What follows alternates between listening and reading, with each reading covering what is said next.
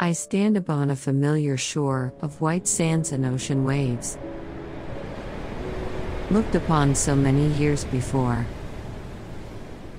Salt and sea breeze fresh upon my face, casting mist and haze like some dream. Where I see that other time in this place. In this place I now stand so all alone.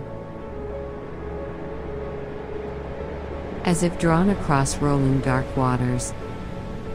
To calmer days once warmly known.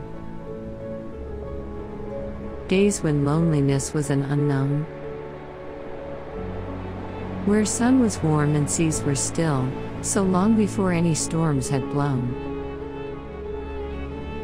I recall your smile there upon your face, and you were there to share my time.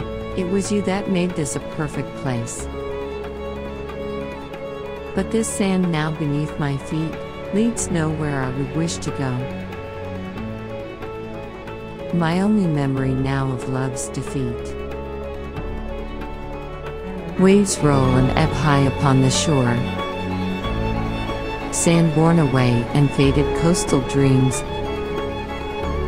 The remains of the beach that was ours before.